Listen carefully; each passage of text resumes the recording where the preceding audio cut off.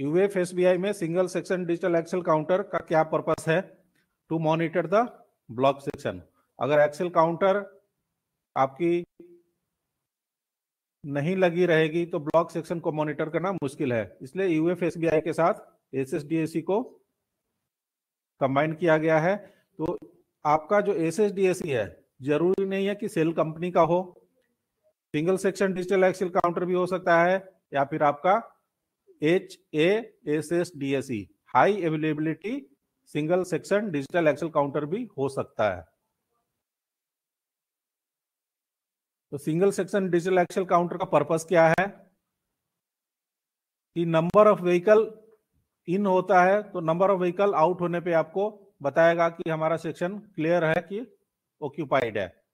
यानी कि block section में कितनी व्हीकल एंटर किया, यानी कितना एक्सेल इन हुआ अगर उतना एक्सेल आउट होता है, तभी आपका सेक्शन क्लियर होगा। और इसको जो फाइनल रिले है इसका फाइनल रिले क्या है? लोकेशन में आपको वीआर मिलेगा रिले रूम में क्या मिलेगा? वीपीआर मिलेगा। तो वीपीआर के फ्रंट कॉन्टेक्ट से यूएफएसबीआई में सर्किट को प्रूव किया है लाइन क्लियर में या फिर सेक्शन क्लोजिंग में।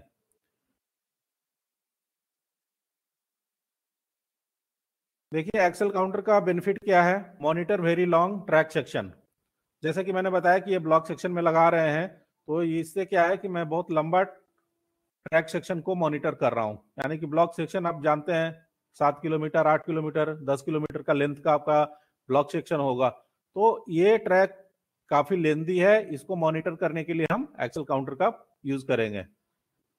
Last vehicle check is done automatically कल मैंने आप लोगों को बताया था कि गाड़ी आने के आने के बाद यूएफएसबीआई में आपको कुछ क्लोज करने के लिए ज़रूरत नहीं है। स्टेशन मास्टर क्लोज करने के लिए इक्विपमेंट के पास नहीं जाएँगे। जबकि पहले क्या था ब्लॉक इंस्ट्रूमेंट अगर लगा हुआ था, चाहे आप एस की बात करें, चाहे नील्स बॉल टोकन या टैबलेट टोकन या फिर हैंडल टाइप डायोडो टाइप इंस्ट्रूमेंट तो इसमें क्या था कि हमें मैनुअली ब्लॉक हैंडल को क्लोज करना पड़ता था लाइन क्लोज लाना पड़ता था।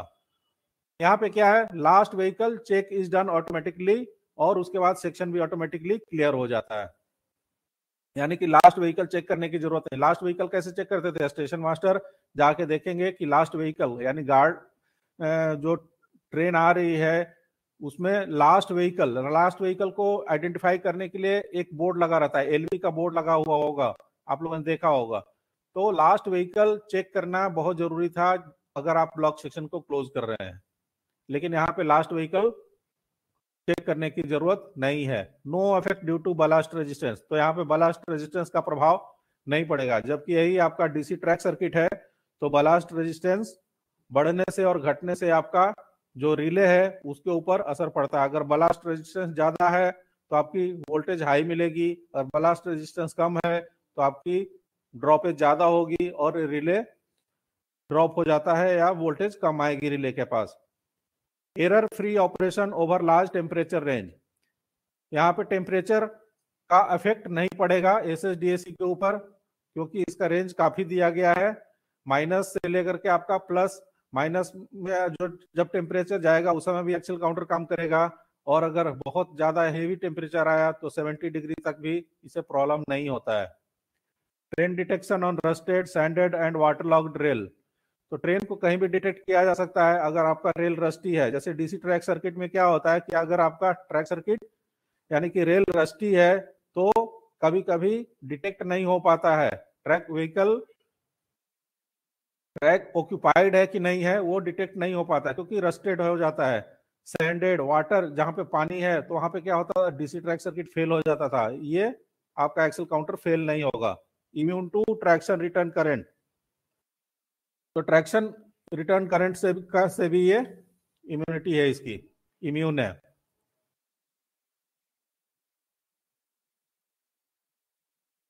एस का और फीचर्स क्या है? इसको 90 आर में 52 के में 60 के में किसी भी में लगाया जा सकता है।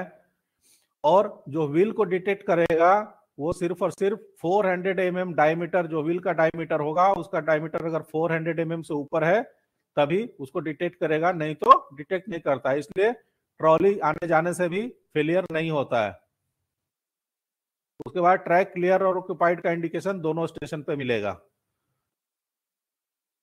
माइक्रो प्रोसेसर क्या है? Two out of two architecture two out of two decision का है। उसमें दो सीपीयू कार्ड है।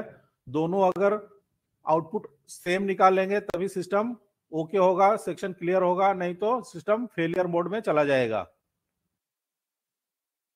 Decision based on four out of four logic four out of four logic करने का क्या मतलब है कि दो सीपीयू आपका एक स्टेशन पे और दो सीपीयू दूसरे स्टेशन पे तो चार हो गए ना? तो इसीलिए यहाँ पे decision based on four out of four logic लिखा हुआ है कि दोनों सीपीयू अगर डिसीज़न प्रॉपर देंगे तभी आपका क्लियर होगा।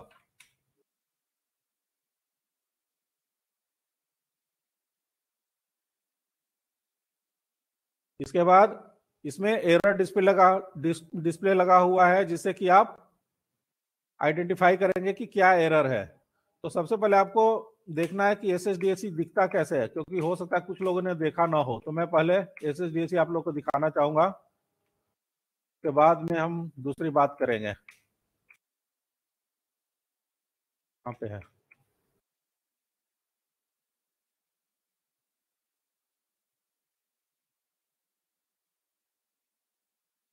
ये देखिए एस एस डी एस का इवेल्युएटर है। कुछ लोगों कुछ लोगों ने देखा होगा कुछ लोगों ने नहीं देखा होगा। किसने नहीं देखा है? पहले ये बताया ये इक्विपमेंट को किसने नहीं देखा है? या कुछ नहीं जानते इसके बारे में? अनिल कुमार भानु प्रताप कपिल मनीष सचिन सतीश उपेंद्र किसी ने नहीं देखा हो बताइए। सर देखा तो है लेकिन हमारे सिस्टम में सर अभी इंस्टॉल हुआ है सर ये। अभी इंस्टॉल हुआ है ठीक है। जी सर। ठीक है। मैं इसलिए पूछता हूँ ना कि मुझे पता होना चाहिए कि लोगों को कितना पता है तो फिर उस अनुसार से मैं और बताऊँगा आपको। पता चला कि आप लोगों को सब पता है तो मैं बिल्कुल बेसिक से स्टार्ट करूँ तो कोई मतलब नहीं रहेगा। और जिसको बिल्कुल नहीं पता है, और मैं पता चला कि मैं सोच कर पढ़ा रहा हूँ कि नहीं तो पता ही है है ना? तो इसलिए मैं पूछता हूँ। तो देखिए, ये इक्विपमेंट जो है एसएसडी का इवेल्युएटर एस का इवेल्युएटर इसको एस डी यूनिट भी बोलते हैं। तो यहाँ पे देखिए, दो सीपीयू कार्ड है। कार्ड नंबर थ्री और कार्ड नंबर फोर इसमें सीपीयू कार्ड है। तो जो आपका एस एस डी एस लगेगा यूएफ एस बी आई के साथ में जो S S D S C काम करता है, वो कैसे और कहाँ लगा रहेगा? तो एक S S D S C आपका देखिए एडवांस जहाँ पे है एडवांस के जस्ट आगे एक लोकेशन होगा, वहीं पे इसको इंस्टॉल किया जाएगा। क्यों? क्योंकि आपका एडवांस से लेके होम सिग्नल तक का सेक्शन जो है उसको एस एस मॉनिटर करेगा। एस एस यानी single section digital axle counter तो एक, डिवाइस जो है एक यूनिट आपका एडवांस के पास लगेगा और एक यूनिट होम के पास रहेगा। ये आपकी लोकेशन बॉक्स में हो गई। उसके बाद लोकेशन बॉक्स से ट्रैक तक। ट्रैक में क्या होगा? ट्रैक में आपका डिवाइस रहेगा। कौन सा डिवाइस रहेगा? ट्रांसमीटर क्वाइल और रिसीवर कॉयल तो ये देखिए, ये लोकेशन में रहेगा और लोकेशन में क्या रहेगा? एक रिले सेट भी रहेगा, रिले बॉक्स भी रहता है उसमें। एक ये रहेगा और लोकेशन बॉक्स में क्या रहेगा? दो रिले लगी रहती है वीआर और पीआर वो एक बॉक्स में रहेगा। और क्या रहेगा? आपके ट्रैक से जो ट्रांसमीटर क्वाइल और रिसीवर क्वाइल है, वो रहेंगी। देखिए कैसा रहेगा।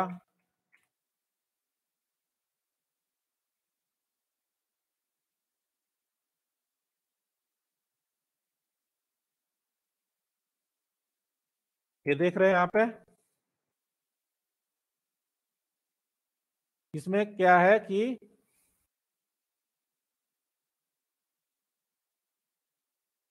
ये जो है आपका ट्रांसमीटर कॉयल है, ये ट्रांसमीटर है और ये रिसीवर है। ये रिसीवर है और ये ट्रांसमीटर है। तो आपका ट्रांसमीटर और रिसीवर कहाँ लगा रहेगा? रेल के साथ लगा हुआ होगा। और लोकेशन में क्या रहेगा? एस एस डी एस का यूनिट लगा होगा। तो ये एक स्टेशन पे रहेगा यानी कि एडवांस के पास में। और इस, इसी तरह आपका जो होम सिग्नल है वहाँ पे भी एक S S D S unit लगा रहेगा और transmitter coil receiver coil rail में फिक्स होंगे। तो जिस रेल में यानी कि आप एडवांस से गाड़ी भेज रहे हैं तो एडवांस से जब गाड़ी जा रही है तो लेफ़्ट साइड अगर रेल में आपने ट्रांसमीटर रिसीवर फिक्स किया है तो अगले स्टेशन के, यानी होम के पास भी आपका लेफ़्ट साइड रेल में ही होगा। यानी कि अगर आप एडवांस से चल के जा रहे हैं तो जिस रेल में आपने यहाँ पे फिक्स किया है, सेम रेल में आपको दूसरे जगह भी फिक्स करना है। क्यों फिक्स करना है? क्योंकि जो फ्रीक्वेंसी है 21 एंड 23 किलोहर्ज इसकी किसकी फ्रीक्वेंसी है, जो आपकी क्वाइल है। ट्रांसमीटर कॉयल और रिसीवर कॉयल जो है, आपका 21 किलो हर्ज का और 23 किलो हर्ज का है। अगर आपने सेम रेल में नहीं फिक्स किया तो क्या होगा? फ्रीक्वेंसी रिवर्स हो जाएगी। एक में 21 23 है तो दूसरे जगह फिर आपका उल्टा हो जाएगा। तो इसलिए सेम रेल में आपको फिटिंग करनी है। अगर आपने लेफ़्ट हैंड साइड में एडवांस के पास किया है तो सेम रेल के जाते हुए आप होम पे जो वहाँ पे जाएगी, वहाँ भी लेफ़्ट हैंड साइड में ही इसको इंस्टॉलेशन करेंगे। इतना क्लियर हो गया? अब इसमें कार्ड जो होती है कौन कौन सी कार्ड है, उसके बारे में देखेंगे।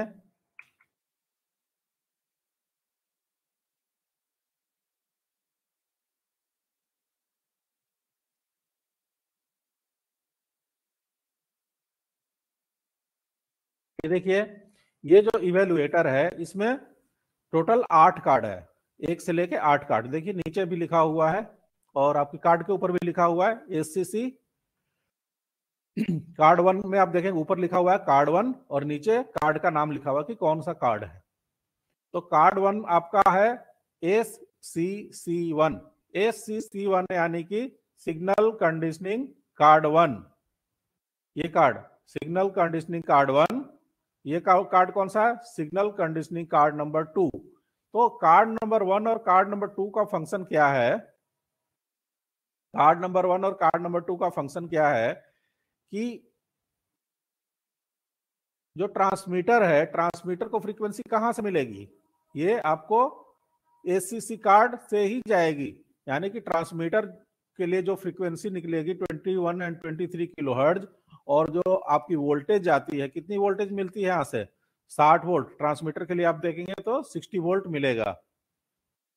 तो जो वो फ्रीक्वेंसी जाती है, यानी कि पर ट्रांसमीटर 30 वोल्ट है, दो ट्रांसमीटर है तो 60 वोल्ट तो जो आपका एसीसी कार्ड है, ये आपकी फ्रीक्वेंसी भी ट्रांसमिट करेगा और आपकी ट्रांसमीटर कॉयल को वोल्टेज भी देता है। तो 60 वोल्ट एसी आपको मिलेगा और रिसीवर कॉयल क्या करेगा? वोल्टेज रिसीव करके आपको वापस एसीसी कार्ड वन को देगा और एसीसी टू को देगा।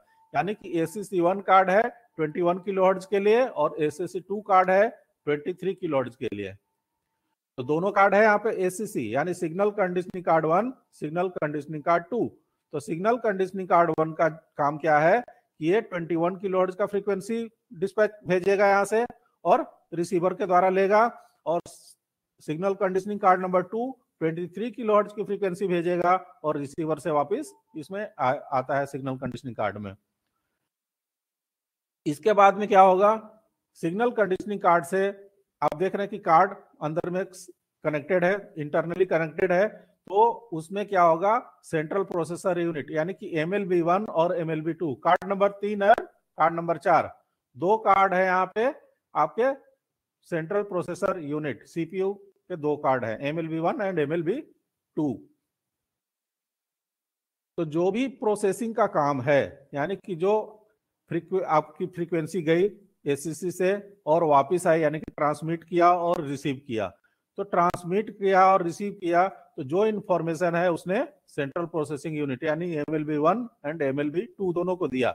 यानी कि आपका एस सी सी वन और एस सी सी टू दोनों की information M L B one और एम एल बी टू दोनों को जाती है। यहाँ पे देखेंगे तो कुछ इंडिकेशंस दिया हुआ है। जैसे ए सी सी वन का भी देखेंगे तो देखिए ऊपर में रेड एंड ब्लैक दो टेस्ट पॉइंट दिए गए हैं। तो आपको मेंटेनेंस में क्या देखना है? यहाँ पे देखिए लिखा हुआ है 2.2 वोल्ट डीसी तो आपको मेंटेनेंस में मल्टीमीटर से चेक करना है कि यहाँ पे 2.2 वोल्ट डीसी है कि नहीं है। अगर दो वोल्ट से नीचे जाती है तो हो सकता है कि कुछ इसमें कार्ड में दिक्कत आ रही है तो आपको कार्ड रिप्लेस कर देना पड़ेगा या निकाल करके वापस रिप्लग करना पड़ेगा। उसके बाद ट्रॉली प्रोटेक्शन के लिए एक एलईडी दिया हुआ है, ऑसिलेटर ओके, यानी कि आपकी ट्रांसमिट कर रहा है, यानी कि आपकी फ्रीक्वेंसी निकाल रहा है तो ऑसिलेटर ओके। उसके बाद LD okay and pulse okay. तो ये सारे एलईडी क्या है? ग्लो करेंगी, ग्रीन कलर की एलईडी है। उसके बाद M L B one M L B one में आप देखेंगे कि आठ एलईडी आठ एलईडी दिया हुआ है एम एल बी वन में और आठ एलईडी एमएलबी टू में दिया हुआ है। तो ये किस लिए है? इसमें एरर कोड पढ़ने के लिए दिया हुआ है कि अगर कुछ सिस्टम में एरर आता है तो जो एलईडी ग्लो होंगी तो एलईडी को हमें अंडरस्टैंड करना पड़ेगा, देखना पड़ेगा कि कौन सा एरर आया है। तो आठ एलईडी दिया हुआ है, इसमें चार ऊपर की और चार नीचे की आप देखेंगे तो चार ऊपर की जो एलईडी है उसको बोलते हैं एलएसबी और नीचे की चार एलईडी को एमएसबी एलएसबी यानी लोवेस्ट सिग्निफिकेंट बिट एमएसबी यानी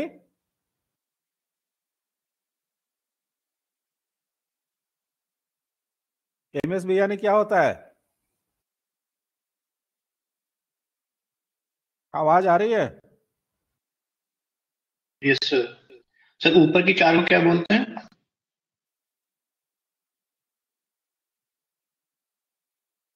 ऊपर के lowest significant bit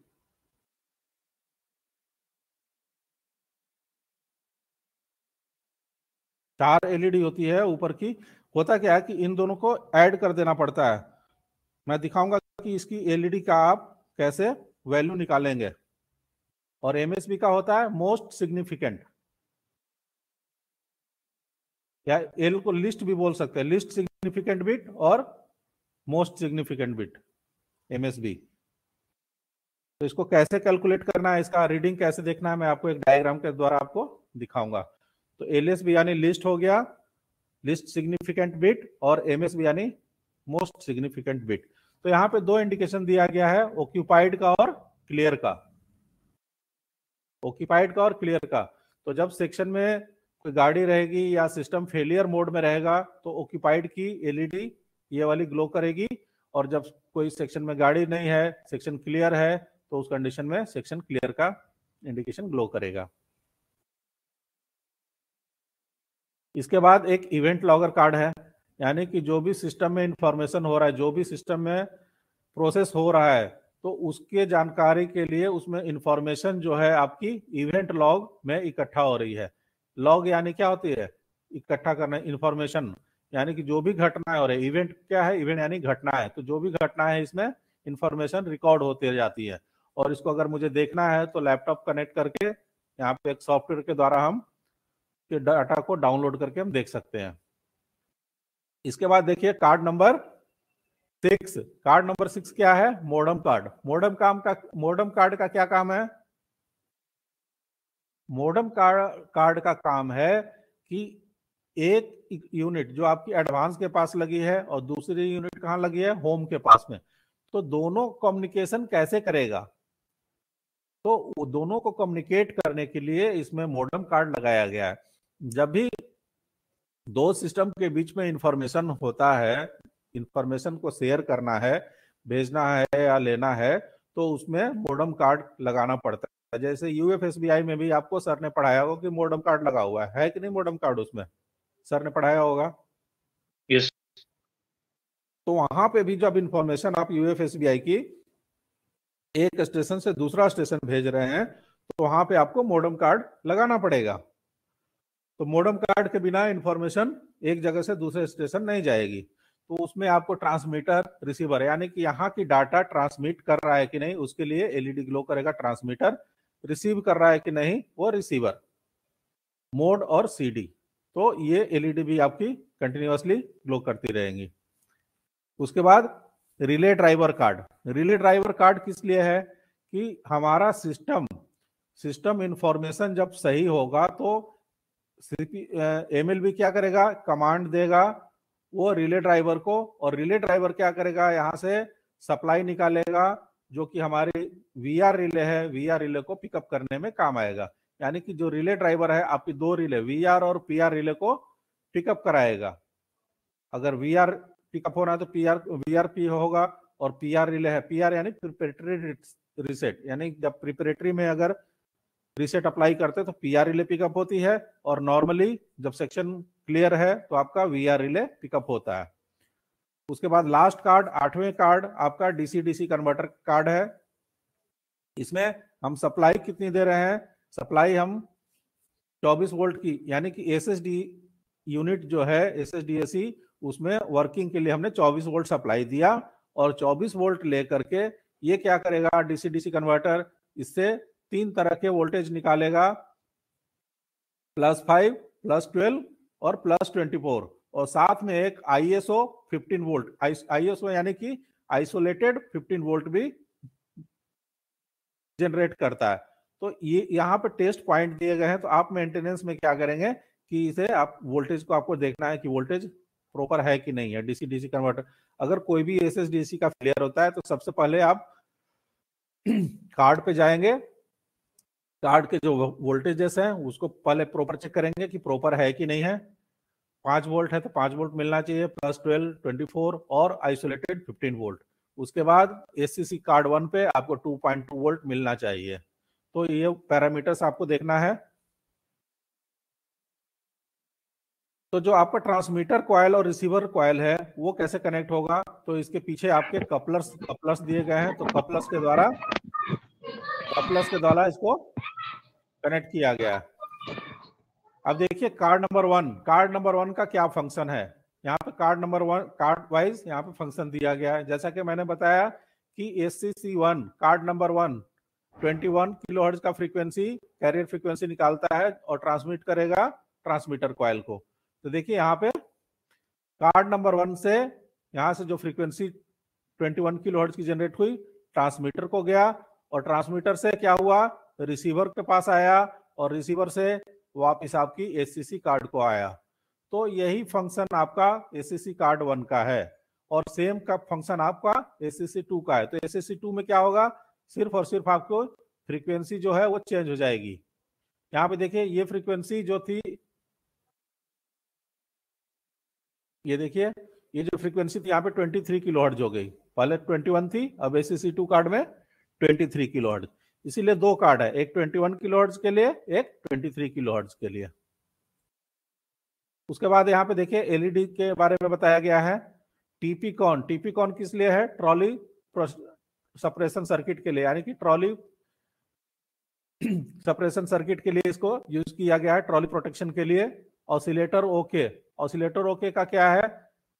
The oscillator indication will not glow during the train movement this LED continue देखिए this LED indicate the normal working of TX coil यानी कि transmitter coil आपका normal work कर रहा है तो ऑसिलेटर ओके की light glow करती रहेगी।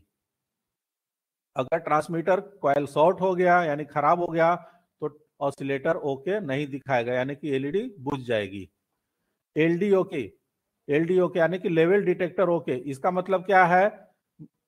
इसका मतलब है कि signal from R X coil is normal यानी कि जो आर एक्स क्वाइल से सिग्नल है, नॉर्मली सही आ रही है। अगर ऑफ़ हो गया तो इसका मतलब कि फॉल्टी है या आर एक्स क्वाइल की केबल टूट गई है या खराब है। पल्स ओके पल्स ओके का क्या मतलब है? The LED indicate normal signal for from R X coil and pulse level in card is okay यानी कि आर एक्स क्वाइल से सिग्नल प्रॉपर आ रहा है और जो पल्स लेवल है वो सही कंडीशन में है। अगर एलईडी बुझ गई है, फॉल्टी है तो उस कंडीशन में आर एक्स क्वाइल हो सकता है कि फॉल्टी हो या केबल डिस्कनेक्ट हो गया हो तो वो आपको चेक करना पड़ेगा। तो यही चीज़ आपकी एस सी टू कार्ड में भी है सेम इंफॉर्मेशन सेम है इसमें भी।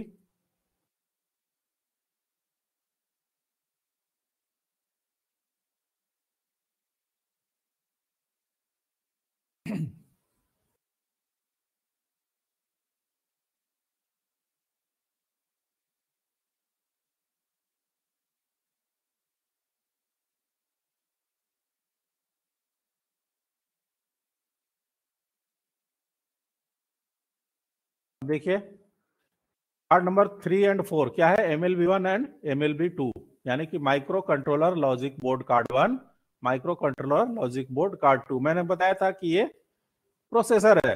प्रोसेसर क्या होता है? हर्ट ऑफ़ द सिस्टम यानी कि एस एस डी सी का हर्ट क्या है? हर्ट ऑफ़ द सिस्टम यानी कि मेन फ़ंक्शन आपका माइक्रो कंट्रोलर लॉजिक बोर्ड ही है, जो आपका पूरा काम करेगा, यानी कि प्रोसेसिंग का उसके बाद कंट्रोलिंग पूरा इक्विपमेंट के ऊपर M L B one and M L B two का ही है। अगर दोनों में से एक कार्ड भी अगर खराब हो जाता है फेलियर हो जाता है तो आपका सिस्टम फेलियर मोड में चला जाएगा। इसी को बोलते हैं two out of two architecture यानी कि एम एल बी वन और एम एल बी टू दोनों सही होना चाहिए। यानी कि जो information M L B one दे रहा है, वही information M L B two भी दे रहा है। यानी कि डबल चेकिंग करके दे रहा है। अगर डबल चेकिंग वाला में एक चेकिंग भी खराब हो गया, यानी एक कार्ड भी खराब हो गया तो आउटपुट आपको नहीं मिलेगा। They process the data with the help of software तो उसके लिए सॉफ्टवेयर डाला गया है सॉफ्टवेयर इंस्टॉलेशन है, और उसी के द्वारा प्रोसेस किया जाता है। एमएलबी कार्ड का फ़ंक्शन क्या है? पहला फ़ंक्शन है monitor and receive pulse signal यानी कि जो पल्स सिग्नल है, उसको मॉनिटर करता है और रिसीव करता है। Output pulse signal to other MLB उसके बाद यहाँ से जो आउटपुट निकलेगा, दूसरे एमएलबी को जाएगा। Detect the passing wheel and its direction. यानी कि अगर व्हील आपके टी एक्स क्वाइल और आर एक्स क्वाइल के ऊपर से गुजरती है तो उसको आइडेंटिफाई करता है और डिटेक्ट करता है कि डायरेक्शन क्या है इसका। किस डायरेक्शन से आ रही है, किस डायरेक्शन में जा रही है। Count the wheel passing at the axle detector उसके बाद व्हील काउंटिंग भी करेगा। तो कैसे करेगा M L B one and M L B two क्योंकि इंफॉर्मेशन जो भी मिलेगा ट्रांसमीटर क्वाइल रिसीवर क्वाइल से, वो जाएगा card S C C card one और S C C card two को। और ये दोनों कार्ड से इंफॉर्मेशन आपको एम एल बी वन और एम एल बी टू को आता है और ये सारी इंफॉर्मेशन मिलती है। उसके बाद सुपरवाइज द एक्सेल डिटेक्टर तो उसके बाद जो एक्सेल डिटेक्टर है, उसको भी सुपरवाइज करता है। एक्सेल कौन सा है? जो आपकी टी एक्स क्वाइल और आर एक्स क्वाइल है। Code message packet for transmission to remote S इसके बाद यहाँ की इंफॉर्मेशन दूसरे एंड को कैसे भेजेगा? थ्रू मॉडर्म कार्ड और दूसरे स्टेशन पे क्या करेगा? वो मैसेज को डिकोड करेगा। डिकोड करके जो भी हमने यहाँ से इंफॉर्मेशन भेजा है, उसको डिकोड करेगा। डिकोड करके बताएगा कि सिस्टम का क्या कंडीशन है। सेक्शन क्लियर है कि ऑक्यूपाइड है? उसके बाद determine the number of axle in the section इसका मतलब क्या है? काउंटिंग करेगा। जो जितना एक्सेल इन हुआ, कितना एक्सेल इन हुआ, कितना एक्सेल आउट हुआ, उसको डिटरमाइन करेगा, उसको फाइंड आउट करके आपको डिस्प्ले में भी दिखा देगा कि कितना एक्सिल इंटर हुआ है। उसके बाद control and supervise the status of vital relay तो जो वाइटल रिले है, उसको कंट्रोलिंग कैसे होगा कंट्रोलिंग कैसे होगा? रिले ड्राइवर कार्ड लगा हुआ है, उसके द्वारा होगा। तो सारे काम एम एल बी वन और एम एल बी टू का ही है। यहाँ पे देखिए कि जो इंडिकेशन दिए गए हैं और एलईडी है, उसके बारे में डिटेल्स है कि इसका इंडिकेशन क्या है इंडिकेशन क्या है।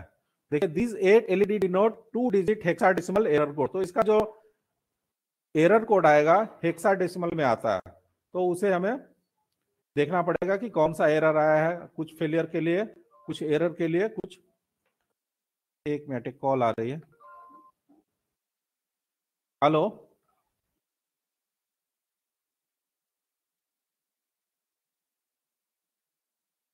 कौन ले रहा है आपका क्लास? तो आ, बाकी लोग को आवाज़ नहीं आ रही है क्या? एक मिनट ध्यान देता हूँ।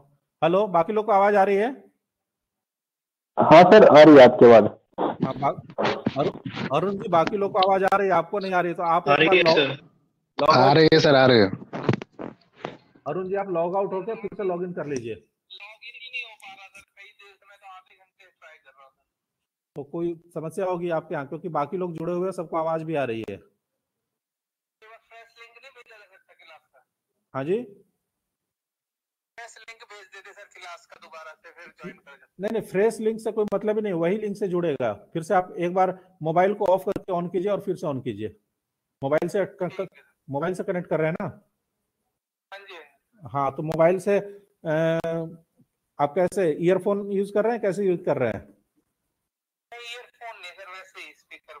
तो फिर आपको लिसन मोड में ही सेलेक्ट करना पड़ेगा। ट्रांस माइक्रोफोन नहीं सेलेक्ट करना पड़ेगा। लिसन मोड में सेलेक्ट करेंगे तो आवाज़ आएगी।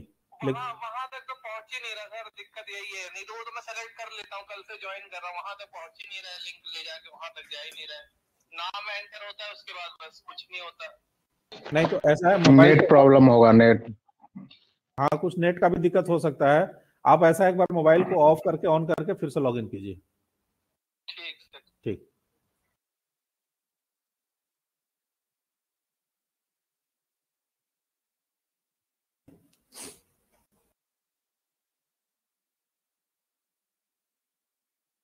तो जो यहाँ पे आठ एलईडी है आप देखेंगे कि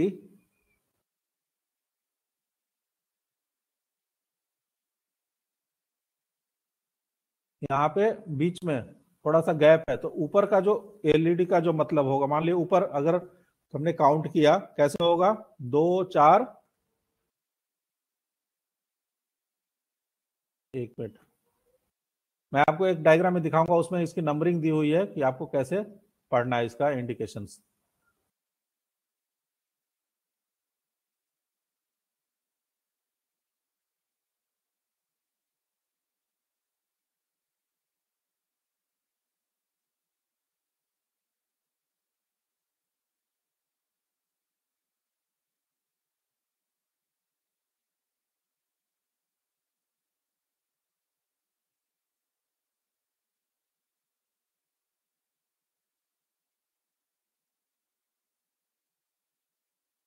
अच्छा ये ब्लॉक डायग्राम को एक बार देख लीजिए।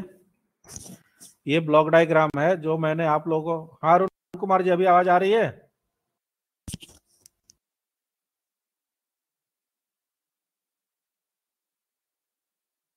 देखिए, ये ब्लॉक डायग्राम है एस एस डी सी का। तो जो मैंने आपको कार्ड बताया card number one S C C card card number one तो यहाँ पे जो आपका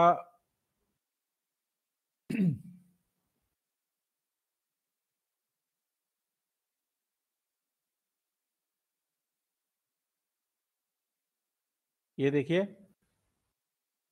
ये आपकी ट्रांसमीटर कॉयल है और ये रिसीवर कॉयल है। तो ट्रांसमीटर कॉयल को क्या होगा? एस वन कार्ड से इंफॉर्मेशन गया और रिसीवर कॉयल से इंफॉर्मेशन इस तरह से आ गया एस वन को। यहाँ से एस सी सी वन से इंफॉर्मेशन गया और एस टू से आया। यानी कि ये 21 थ्री 21 किलो हर्ट्ज जो फ्रीक्वेंसी है, गई देखिए यहाँ पे 21 किलो हर्ज है? और ये 23 किलो हर्ज है।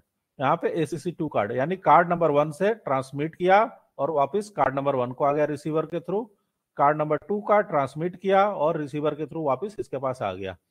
इसके बाद ये कार्ड कहाँ है? आपका मदरबोर्ड के साथ इंस्टॉल किया हुआ फिक्स किया हुआ है।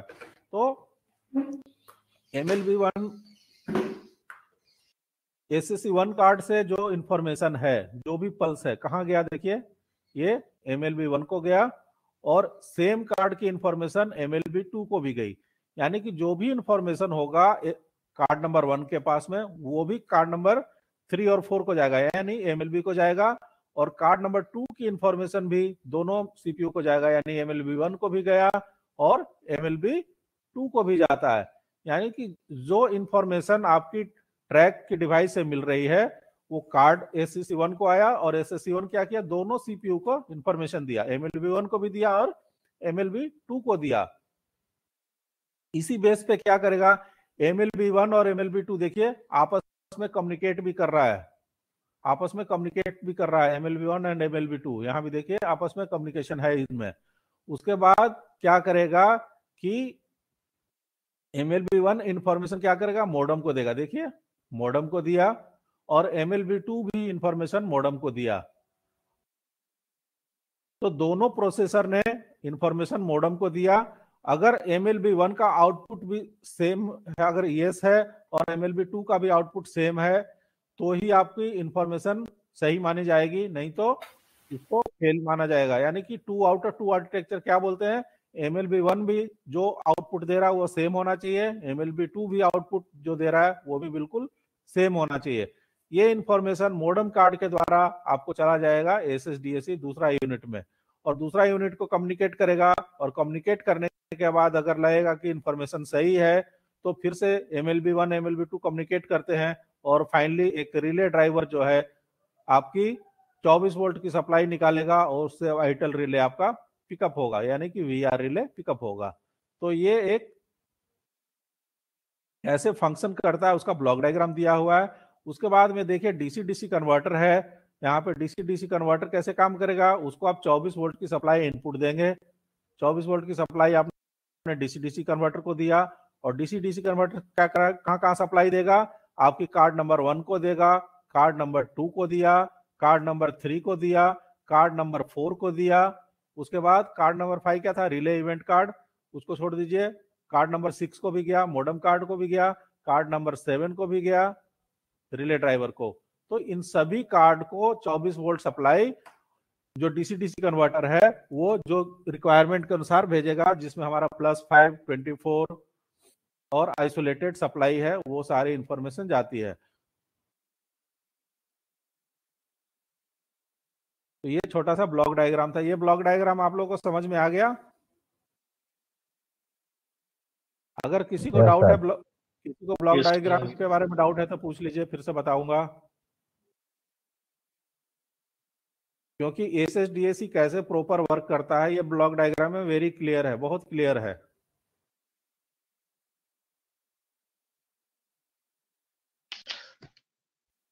सर इसमें ये पूछना था कि जो पाँच वोल्ट बारह वोल्ट जो है जो सप्लाई जाएगी वो S C C one M L B और मॉडर्न साइज़ में किस किस को जाएगी सर वो? ऐसा से स्पेसिफाई होता है या फिर वो खुद से डिस्ट्रीब्यूट करेगा सर सप्लाई देखिए ये कहीं भी मेंशन किया हुआ तो है नहीं यहाँ पे और ना ही कोई बुक्स में मेंशन किया है कि सप्लाई कैसे क्योंकि तो ये कार्ड है ये सब इंटरनली इंटरनली है और बाहर में कहीं दिखाई नहीं दे रहा इसमें कि हमारे वोल्टेज किसको जा रही है। वैसे मोडम को आपकी फाइव वोल्ट जाती है। मोडम को पाँच वोल्ट जाएगी और आ, प्रोसेसर जो है प्रोसेसर भी आपका पाँच वोल्ट पे काम करेगा। लेकिन रिले ड्राइवर कार्ड क्या है? आपको 24 वोल्ट से काम करेगा। देखिए रिले ड्राइवर 24 वोल्ट से करेगा और प्रोसेसर जो भी और जो प्रोसेसर होता है हर एक प्रोसेसर 5 वोल्ट पे ही काम करता है। तो 5 वोल्ट हो गया आपका प्रोसेसर के लिए। आइसोलेटेड क्या है? आइसोलेटेड से आपकी जो वी आर रिले पिकअप होती है ना वो आइसोलेटेड सप्लाई से पिकअप होती है। ठीक है। ठीक है।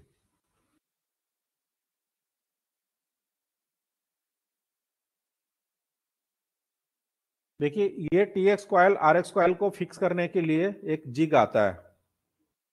एक जिग आता है, जिससे कि आप एक्सल डिटेक्टर यानी टी एक्स क्वाइल जो और आर एक्स क्वाइल को फिक्स करना है तो कैसे फिक्स करेंगे? तो यहाँ पे आप देखेंगे। ये देखिए। यहाँ पे होल करने के लिए दिया हुआ है। इसमें छोटा पंच के द्वारा आपको होल मार्क करना है। ये देखिए।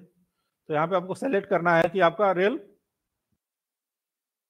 60 के का है, कि 52 के का है, कि 90 के का है 90 आर का है। उसके अनुसार से जिग मार्कर से करना है।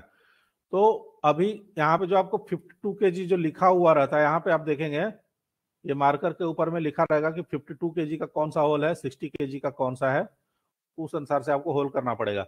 लेकिन अगर आपका फिफ्टी टू के का रेल है तो भी आप 60 के के ही जो मार्किंग दिया हुआ उसे होल करें। प्रैक्टिकली हमने देखा है कि 60 के का मार्किंग से ही सही वर्क करता है वो। अगर आपका 52 के है और 52 के के जो मार्किंग है, उससे आपने किया तो कुछ प्रॉब्लम आ रही है प्रैक्टिकली इसलिए अगर 52 के का रेल भी है तो 60 के का जो मार्किंग है, उसी मार्किंग से करने में सक्सेसफुली काम कर रहा है।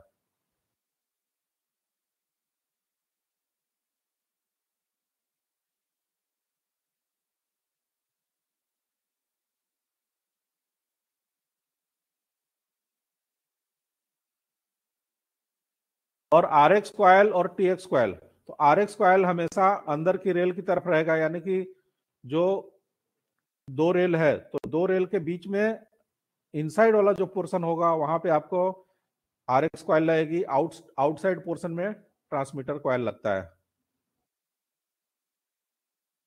क्लियर है ना ये? कोई डाउट नहीं है?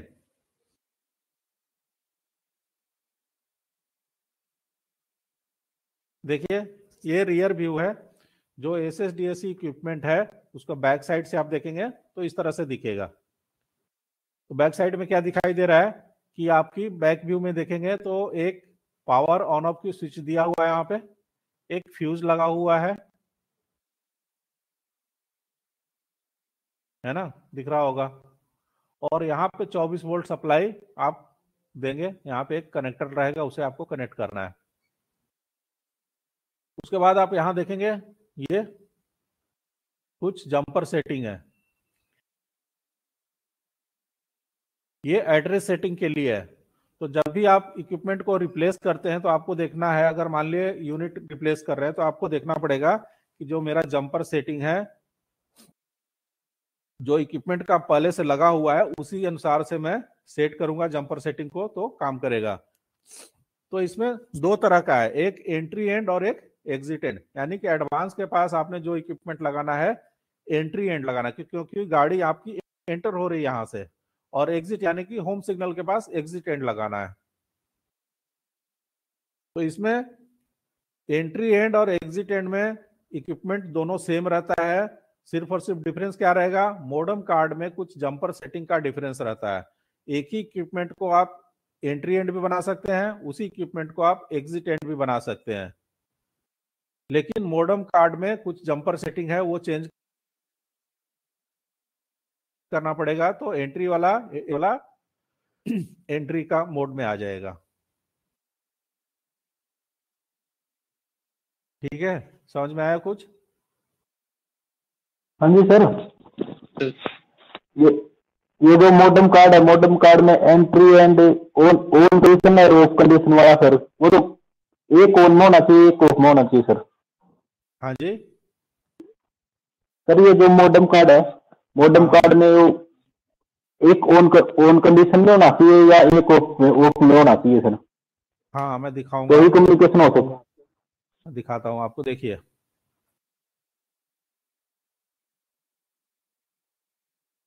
देखिए default factory setting for zero two for entry end zero three for exit end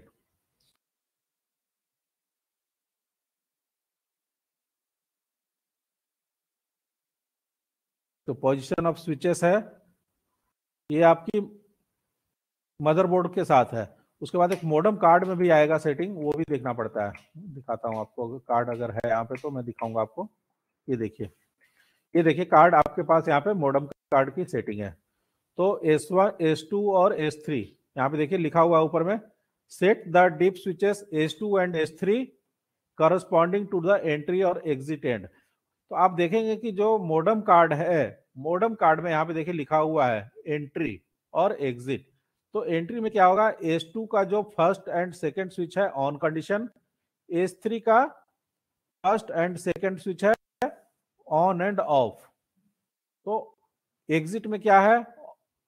First and second off S two switch का ऑफ़ एंड ऑन है और S two S W three में आप देखेंगे तो first and second off and on तो reverse है। Entry mode में और एग्जिट मोड में थोड़ा सा जंपर सेट मतलब आपकी जो स्विचेस दिया हुआ है यहाँ पे, उसको ध्यान देना पड़ेगा। आप एक ही कार्ड को मॉडम कार्ड को एंट्री एंड भी बना सकते हैं, एक ही कार्ड को एग्जिट एंड भी बना सकते हैं। इज़ इट क्लियर समझ में आ गया?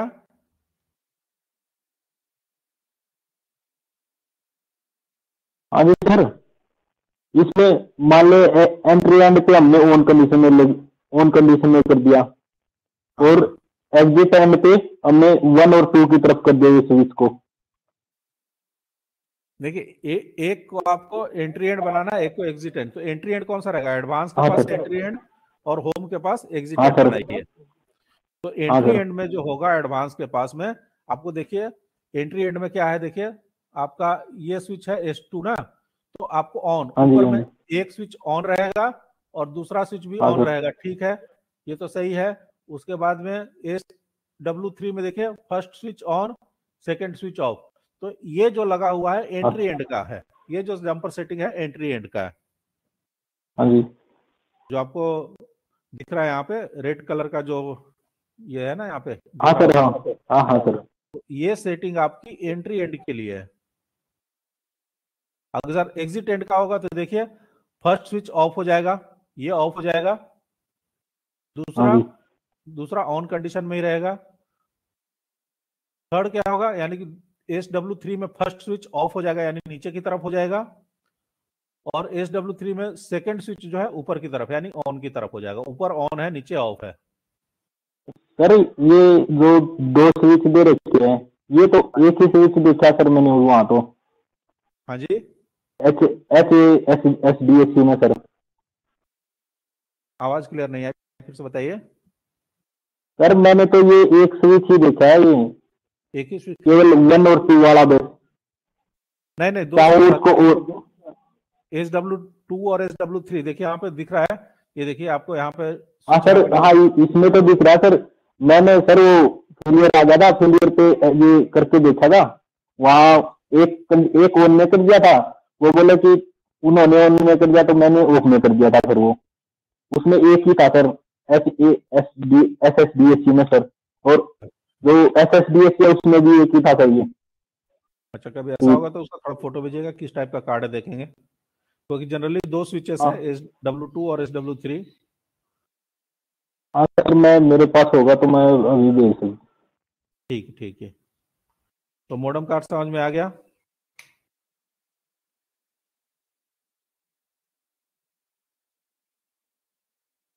देखिए इवेंट लॉगर कार्ड के बारे में इंफॉर्मेशन दिया हुआ है, देखिए। Event logger card is design to capture and store important data of local and remote unit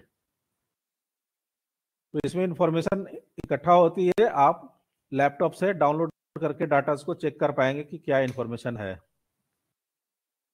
ये इवेंट कार्ड है। देखिए इवेंट कार्ड में क्या है कि एक छोटी सी बैटरी, जैसे कंप्यूटर में एक बैटरी होता है उसी तरह से इसमें एक छोटा सा सेल सेल लगाया। देखिए यहाँ पे जैसे आपके घर में वेट मेजर करने के लिए जो मशीन लगती है ना तो उसमें छोटा सा आप आ, सेल लगाते हैं।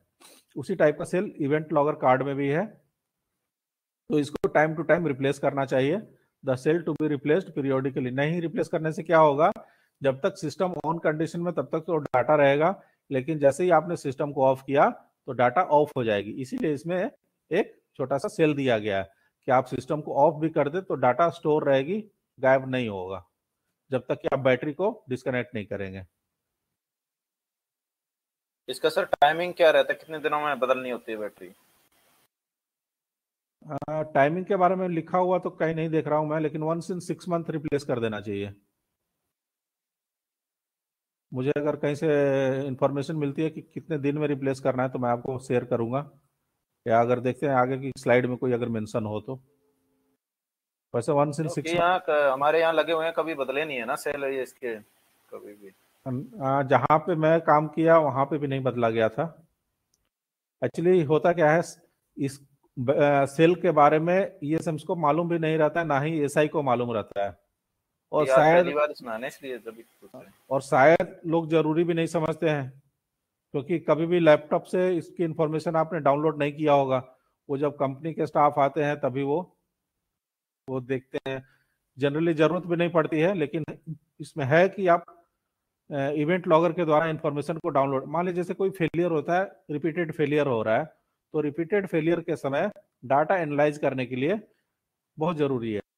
क्योंकि होता क्या है कि आप फेलियर अटेंड करने जाएँगे और उस समय आप सिस्टम को ऑफ़ कर दें तो सिस्टम ऑफ़ किए तो सारी डाटा ज़ीरो हो गई। फिर डाटा नहीं मिलेगा उसमें। फिर हम हाँ, देखेंगे तो देखेंगे कि डाटा उसी दिन का मिल रहा है उसी टाइम का मिल रहा है जब हमने स्विच ऑन किया है।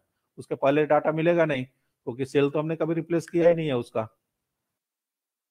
आप कंप्यूटर में भी देखते हैं जो सेल अगर वीक हो जाता है तो जो टाइमिंग आती है आप कंप्यूटर को जब भी ऑफ़ करेंगे तो टाइमिंग फिर से सेट करना पड़ता है है ना? जी तो सर उस, उसी तरह से ये सेल भी वही काम करता है कि जब तक आप पावर ऑन रहेगा, तब तक अगर सेल खराब हो गया तो कोई दिक्कत नहीं, तब तक तो डाटा रहेगा। लेकिन जैसे ही ऑफ़ किया, सारे डाटा ज़ीरो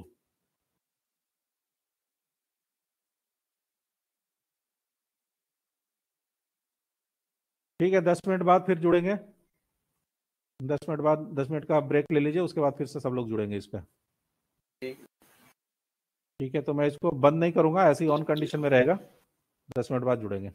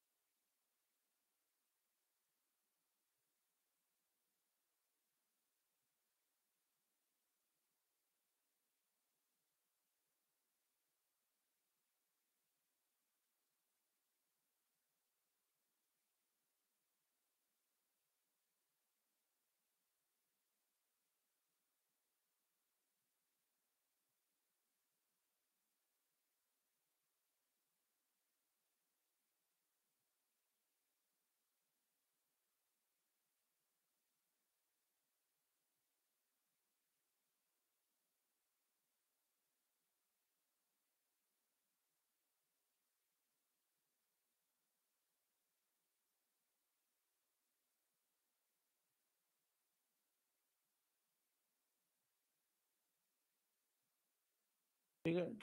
तो इवेंट लॉग कार्ड के बारे में हमने, मैंने बताया। अभी किसने ग्रुप में शेयर किया था मॉडम कार्ड जिसमें एक ही स्विच लगी हुई है?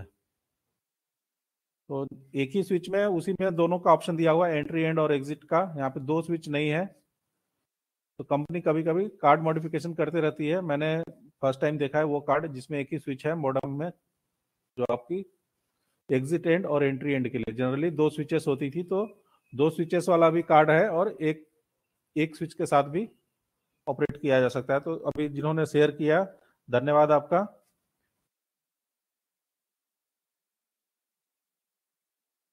मॉडम कार्ड मॉडम कार्ड का फ़ंक्शन क्या है? मैंने आप लोग बता दिया था, एक सिस्टम से दूसरे सिस्टम को कम्युनिकेट करने के लिए जो इंफॉर्मेशन एक यूनिट का दूसरे यूनिट के साथ शेयर करने के लिए मॉडम कार्ड का इस्तेमाल किया जाएगा।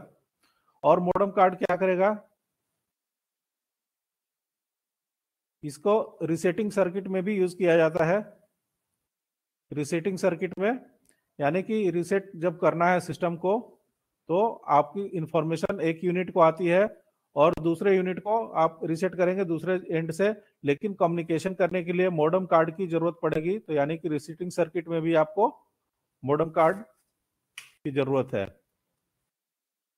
इसमें जो इंडिकेशन है ट्रांसमीटर रिसीवर ट्रांसमीटर क्या है? यानी कि ट्रांसमिट कर रहा है सिग्नल ट्रांसमिट कर रहा है तो टीएक्स की एलईडी ग्लो करेगी रिसीव कर रहा है तो आरएक्स की एलईडी ग्लो करेगी। एक है mode green LED normally remain off यानी कि नॉर्मली ऑफ़ कंडीशन में रहेगा।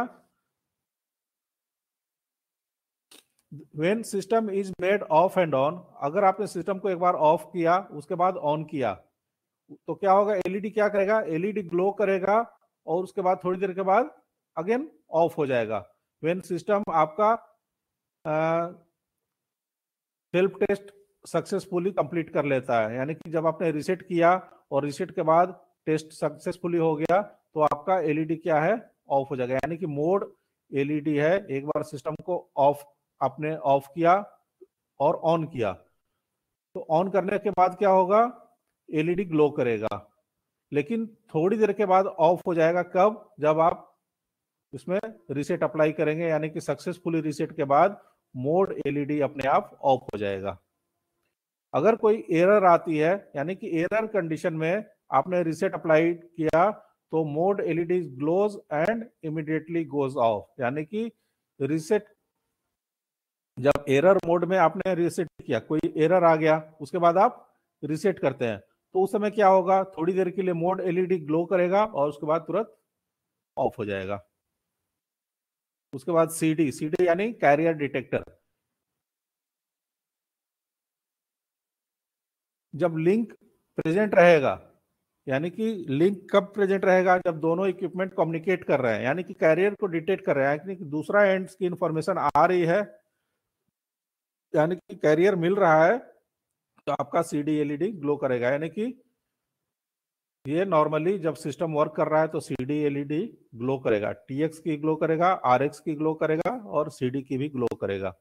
मोड की एलईडी ऑफ़ कंडीशन में रहेगी। उसके बाद relay driver card it receives the command from M L B one and M L B two यानी कि जो प्रोसेसर है उसको कमांड देगा, उसके बाद में ही आपका वी आर रिले या पी आर रिले पिकअप होगा। इसमें इंडिकेशन कुछ दिए गए हैं। रिले ड्राइवर कार्ड में एम एल बी वन और एम एल बी टू का। तो जब क्लियर होगा if glows when MLB1 send decision of the section clear and it will be off when B send the decision of section occupied और disturb यानी जब section clear है तो clear का एलईडी ग्लो करेगा? और जो आप क्लॉक का एलईडी देख रहे हैं, वो क्या होगा? जब फेलियर या ऑक्यूपाइड कंडीशन में नहीं, आपका एम एमएल जो से क्लियर का एलईडी है, वो it glows when MLB one send the decision of section clear जब सेक्शन क्लियर होगा उस समय क्लियर की एलईडी ग्लो करेगा और सेक्शन ऑक्यूपाइड या फेलियर की कंडीशन में सेक्शन क्लियर वाली एलईडी ऑफ़ हो जाएगी। उसके बाद एक क्लॉक का इंडिकेशन दिया हुआ है, वो किस लिए दिया हुआ है? देखिए एम एल बी वन में जो क्लॉक का indication it flashes as long as M L B one sending the clock pulse to relay driver card यानी कि जो रिले ड्राइवर कार्ड को आपको पल्स भेज रहा है तो उस समय आपकी फ्लैश करेगा। यानी कि वी आर रिले पिकअप है तो उस समय आपका क्लॉक एलईडी फ्लैश करेगा। एम एल बी टू में it glows when M L B two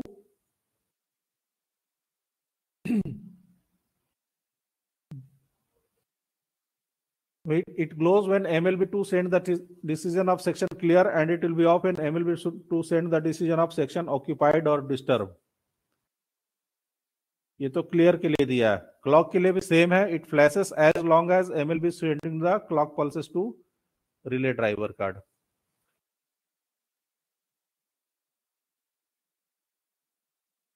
DC DC converter यहाँ पे देखिए कुछ वोल्टेजेस के बारे में लिखा है क्या देखते हैं इनपुट आप 24 वोल्ट देंगे।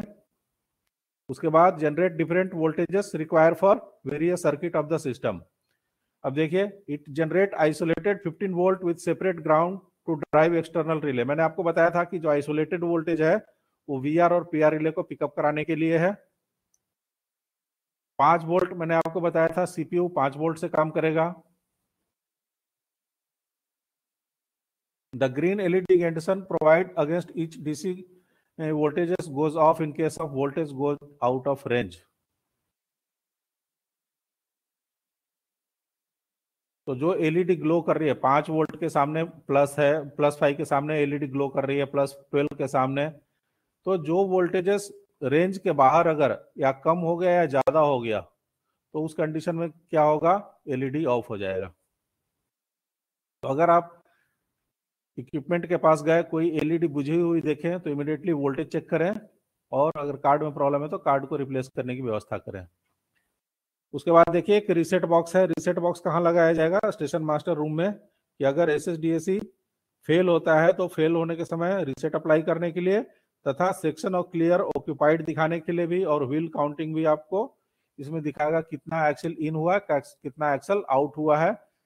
और यहाँ पे दो इंडिकेशन भी दिया है सेक्शन क्लियर के लिए ग्रीन सेक्शन ऑक्यूपाइड के लिए रेड और एक काउंटर दिया गया है कि आपने अगर रिसेट किया है तो देखने के लिए। इसके बाद में लिस्ट ऑफ़ टेन एरर देखिए, यहाँ पे एक रेड बटन के पास में देखिए list of ten recent error codes are stored in error log entry तो दस एरर कोड जो है लास्ट दस एरर इसमें स्टोर रहते हैं। और उसको आप अगर देखना चाहें कि क्या एरर था लास्ट टेन एरर को आप देखना चाहें तो आपको करना क्या पड़ेगा? आपको रिसेट बटन को 10 सेकंड के लिए प्रेस करना है और छोड़ देना है। तो जब देखेंगे तो उसमें 10 errors will be displayed with time and date यानी कि उसमें लास्ट 10 एरर जो हुए थे, वो डेट और टाइम के साथ आपको डिस्प्ले हो जाएगा। और रिसेट करने के लिए क्या करना है? स्टेशन मास्टर की को टर्न करके प्रेस करना है और रीसेट बटन को भी प्रेस करना है तो आपको रीसेट अप्लाइड होता है। तो जब आप रीसेट अप्लाइड करोगे तो कितनी वोल्टेज लोकेशन में जाती है इक्विपमेंट को रीसेट करने के लिए? कोई बताएँगे? 48 वोल्ट हाँ वेरी गुड 48 वोल्ट जाती है। तो हमने यहाँ पे 24 वोल्ट दिया। रिसेट बॉक्स में जो हम सप्लाई देते हैं 24 वोल्ट की सप्लाई देते हैं। इसके अंदर में एक कार्ड लगा हुआ है, वो कार्ड क्या करेगा? 24 वोल्ट को 48 वोल्ट में करेगा और वो 48 वोल्ट को लोकेशन में देता है। ये 48 वोल्ट भेजने के पीछे क्या मकसद है? 48 की जगह 24 वोल्ट क्यों नहीं भेजा?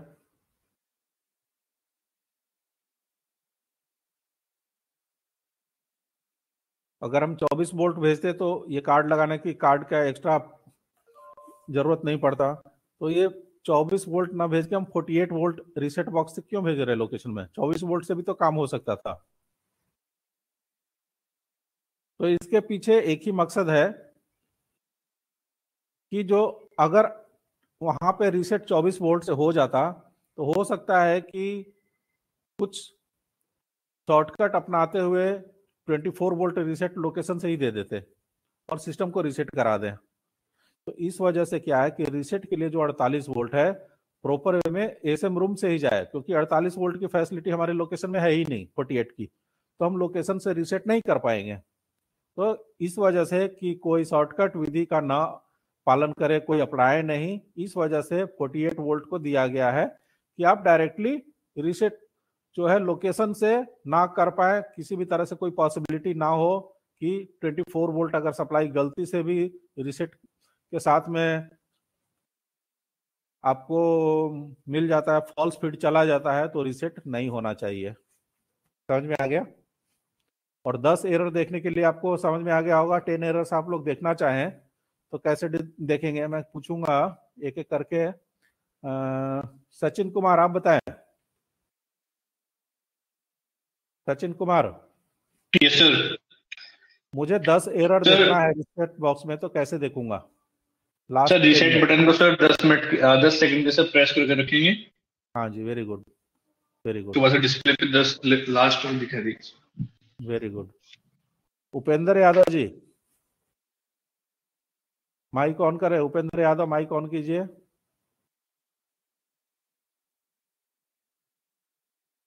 उपेंद्र यादव बात करें।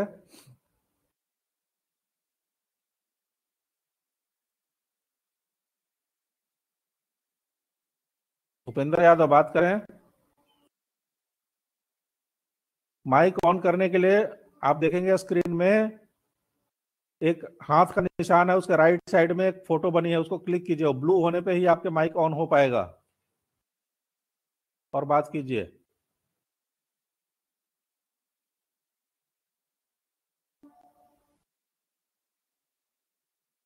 उपेंद्र यादव, आवाज़ नहीं आ रही है? कोई बात नहीं। भानु प्रताप सिंह, सिन्हा जी, आप बताइए रीसेट करने के लिए रीसेट बॉक्स में क्या करना पड़ेगा?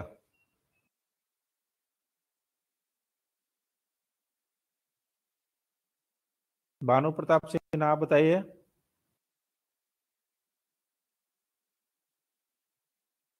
आवाज़ आ रही है भानु प्रताप?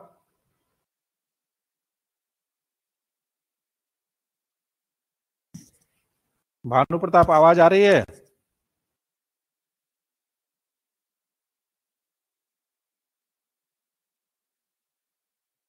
बोलने पे रिप्लाई करना चाहिए इमिडिएटली अगर नहीं आ रहा है तो आप सीख लीजिए कि कैसे रिप्लाई करना है। क्योंकि तो मुझे पता है कि आप लोग को डिफिकल्टीज आ रही होगी, क्योंकि कैसे माइक ऑन करना है, कैसे बात करना है, हो सक, क्योंकि आप लोग रोज रोज तो जुड़ते नहीं है कभी कभार जुड़ते हैं तो हो सकता है कि आप लोग को ना पता हो। तो अगर नहीं पता है तो किसी से सीख लिया कीजिए और जुड़िए उसमें। हाँ उपेंद्र यादव ने रेज हैंड रेज किया। हाँ हाँ जी बोलिए। उपेंद्र यादव जी हैंड के राइट साइड में देखिए, एक माइक का बटन है, उसको क्लिक कीजिए। ब्लू कलर का बटन है।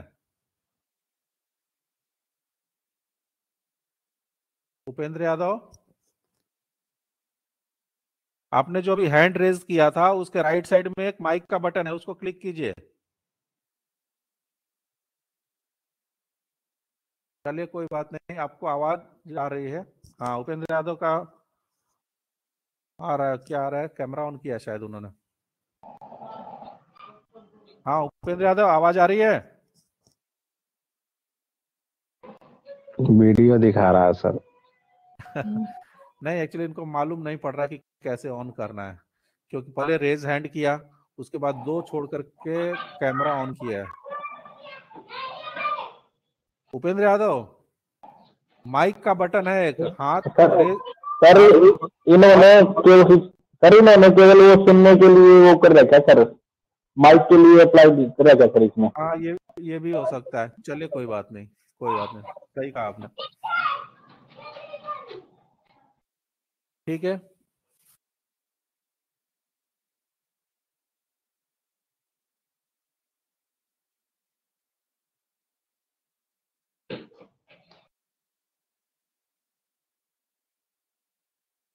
ये रीसेट बॉक्स के अंदर का बोर्ड है।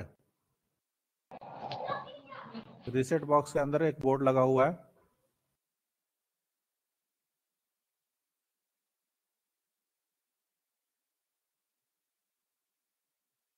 तो देखिए रीसेट कैसे होता है? रीसेट करने के लिए क्या है? 48 वोल्ट आपने क्या दिया है?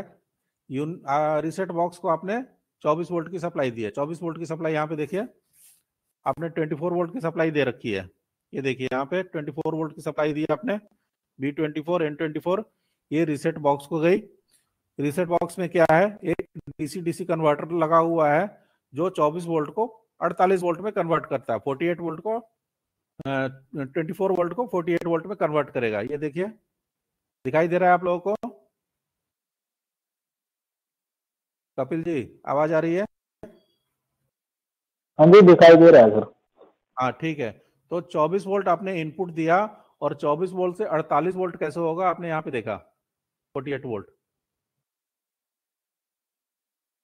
और ये 48 वोल्ट क्या होगा? आपकी लोकेशन पे जाती है। लेकिन लोकेशन पे जाने के पहले क्या है? आपकी वीपीआर रिले और पीपीआर रिले ड्रॉप कंडीशन से जाती है। ऐसा नहीं कि आपका रिले वीपी वीआर या पीआर रिले पिकअप है, उस कंडीशन में आप रिसेट अप्लाई करेंगे। तो जब आपका वीआर रिले पिकअप है उस समय आपने अगर पुश बटन रिसेट बटन का प्रेस भी किया तो कोई फ़र्क नहीं पड़ेगा। क्यों नहीं फ़र्क पड़ेगा? क्योंकि अगर 40 वोल्ट एक्सटेंड भी हुआ तो वीपीआर के आर्म तक आकर के रुक जाएगा एक्सटेंड नहीं होगा तो कोई फ़र्क नहीं पड़ेगा। यानी कि रिसेट करने के लिए आपको VPR relay and PPR relay दोनों ड्रॉप चाहिए तभी आपकी supply 48 volt S S D AC unit को एक्सटेंड होगी। क्लियर हुआ?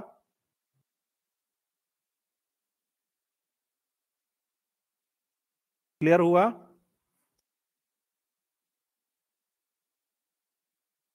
रिप्लाई करें। हाँ जी। हाँ सर। उसके बाद उसके बाद मैंने बोला तीन से पाँच सेकेंड जो आपको बटन प्रेस करके रखना है उसके लिए देखिए यहाँ पे एक सर्किट दिया हुआ है। Three two five second timer circuit. ये जो आपने बटन प्रेस करना है थ्री टू फाइव सेकेंड वो टाइमर सर्किट है यहाँ पे देखिए। ये कैसे जाएगा? 24 वोल्ट आपकी, जब आपने प्रेस किया तो पीपीआर रिले रिले रूम में पिकअप हुई। रिले रूम में ये पीपीआर रिले का कांटेक्ट दिया हुआ है। ये तो ड्रॉप कांटेक्ट होना चाहिए इसमें। पीआर यहाँ पे तो ड्रॉप कांटेक्ट होना चाहिए। ये ये three two five second timer circuit दिया हुआ है। जब आप तीन से पाँच सेकेंड तक आप प्रेस करके रखोगे, तभी तो रिसेट होता है। तो उसके लिए यहाँ पे सर्किट लगा रखा है। तो हम्म और बैक से जाएगा।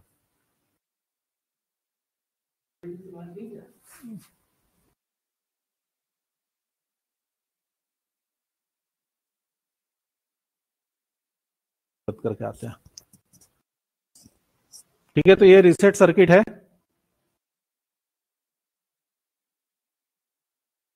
और इसमें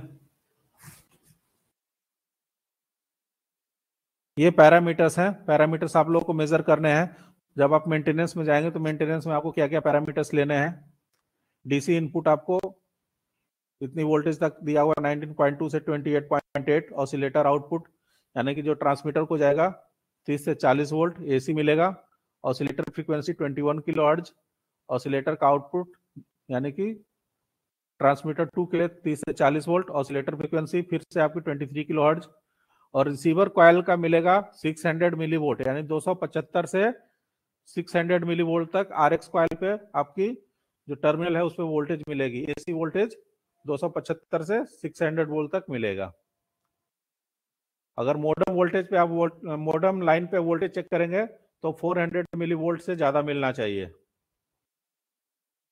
और S S C one S S C two में मैंने जो वोल्टेज के लिए देखा था, अगर व्हील नहीं है उसके ऊपर में, यानी कि T X coil R X coil के व्हील नहीं है तो दो से लेके 2.5 वोल्ट डीसी मिलेगा। अगर आके व्हील खड़ी होती है तो 0.7 मिलेगा। तो ये सारे पैरामीटर आपको टेस्ट करने हैं।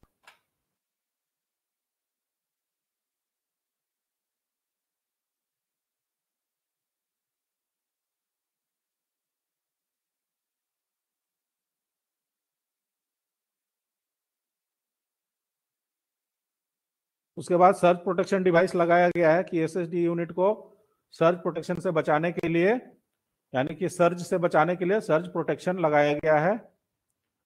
ये कहाँ कहाँ लगाएँगे? All input line to S S D H to be routed through surge protection device. तो आपका जब मॉडर्म लाइन है, या रिसेट वोल्टेज है, या पावर सप्लाई तो उसमें आपको सर्च प्रोटेक्शन डिवाइस तीनों में लगाना ज़रूरी है। 24 वोल्ट पावर सप्लाई में 48 वोल्ट रिसेट सप्लाई में मोडम कनेक्शन में और reset box LCD display information के लिए ज़रूरत है। एसपीडी कहाँ इंस्टॉल करेंगे? ये लोकेशन बॉक्स में इंस्टॉल करेंगे और ऑल्सो रीसेट बॉक्स के इनपुट में भी आप एसपीडी को इंस्टॉल करेंगे। एसपीडी क्या होता है? सर्च प्रोटेक्शन डिवाइस ये इस टाइप का इक्विपमेंट रहेगा जो आपकी S S D AC unit में, जहाँ पे टर्मिनल्स लगे हैं, वहीं पे इसको इंस्टॉल किया जाएगा, लगाया जाएगा।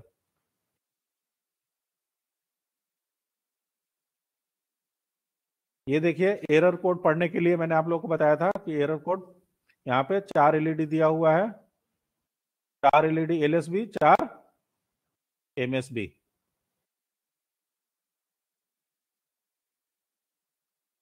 इसको पढ़ने का तरीका क्या है? देखिए, पहला जो है, एक, दो, तीन, चार, पाँच छः सात, आठ, इस टाइप से है। इसकी वैल्यू जो है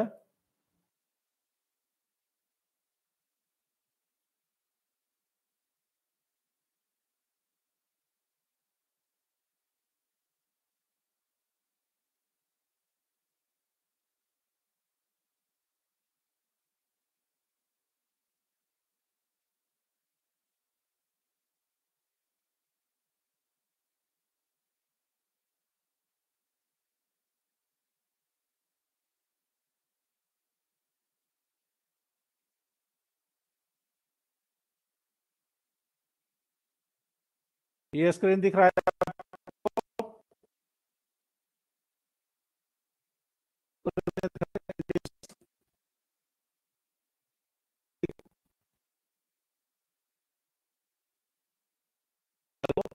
सर आपकी आवाज़ नहीं आ रही है सर।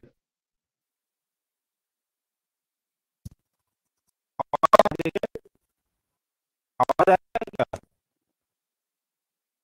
हेलो हेलो आवाज़ आ रही है? हेलो? यस सर अब आ रही आ रही है सर अब आ रही है। अब आ रही है? यस सर ठीक है।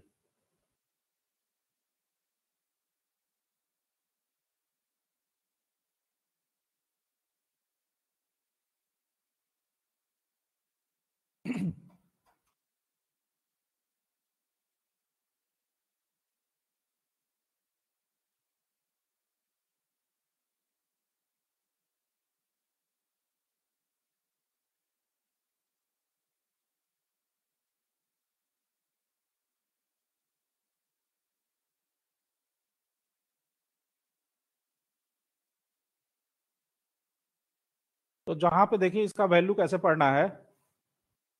एक है तो एक पढ़ेंगे, दो है तो दो, तीन के जगह चार और चार के जगह आठ। यानी एक, दो, चार, एक, दो, चार, आठ। और पाँच के जगह दस छ के जगह बीस, सात के जगह चालीस और आठ के जगह एक मिनट। हाँ चालीस, उसके जगह अस्सी। यानी एक, दो, चार, आठ दस, बीस, चालीस, अस्सी। तो ये वैल्यू रहेगा, अगर मान लिए मान लिए कि जो एलईडी ग्लो कर रही है, तीन और चार या तीन और छ आप मान के चलिए कि एलईडी ग्लो कर रही है तीन नंबर और छह नंबर तो इसका वैल्यू क्या होगा? तीन का वैल्यू क्या होगा? तीन का वैल्यू हो गया चार और छह का वैल्यू हो गया बीस। तो चार प्लस बीस क्या होता है? चौबीस। तो एरर नंबर ट्वेंटी फोर आपको पढ़ना पड़ेगा। समझ में आया? फिर से बताता हूँ। सर पाँच नंबर का कितना होगा सर? पाँच नंबर को दस। फिर से मैं बोलता हूँ एक नंबर को एक दो नंबर को दो तीन नंबर को चार चार नंबर को आठ। यानी कि एक दो चार आठ दस बीस ती चालीस दस बीस चालीस और ये अस्सी। तो ये इसकी वैल्यू है मान लिया कि एलईडी नंबर थ्री ग्लो कर रही है और LED glow number LED number six कर रही है। तो तीन का वैल्यू कितना हुआ? तीन का वैल्यू चार होता है और छह का वैल्यू कितना हुआ? बीस। तो दोनों को जोड़ देना है। ऊपर वाला और नीचे वाला वैल्यू को जोड़ देना है। तो तीन पे जो वैल्यू है चार प्लस सिक्स पे वैल्यू हो गया ट्वेंटी तो एक, दो, चार चार प्लस बीस ट्वेंटी फोर तीन पे वैल्यू हो गया कितना? चार। और छह पे वैल्यू हो गया ट्वेंटी तो चार और ट्वेंटी यानी बीस को जोड़ देना है। यानी एल एस बी में जो वैल्यू आएगा, उसको एम बी के साथ ऐड कर देना है। तो वही एरर आ जाएगा।